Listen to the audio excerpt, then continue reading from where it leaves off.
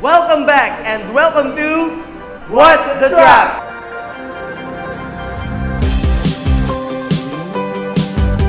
And today's episode, we will be teaching you on how to culture the fruit fly. As you can remember, the last episode, we talked about how to trap our fruit fly. So now we have our fruit fly. And here's our materials.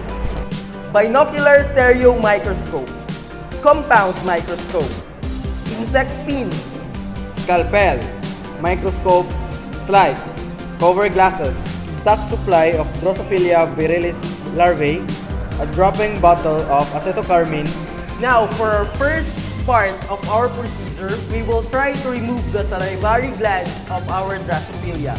So first step, we will remove a large larva from the stock of our Drosophila trap. Now, here's our Drosophila trap. As you can remember in our last episode,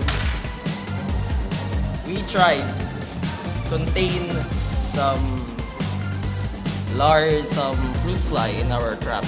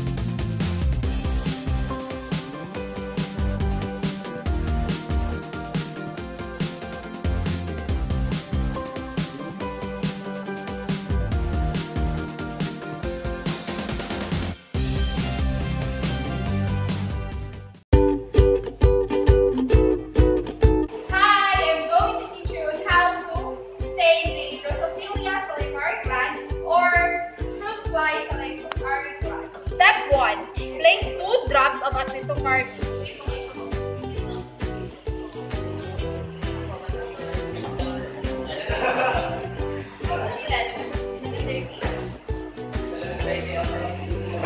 And then let it stand for 10 minutes.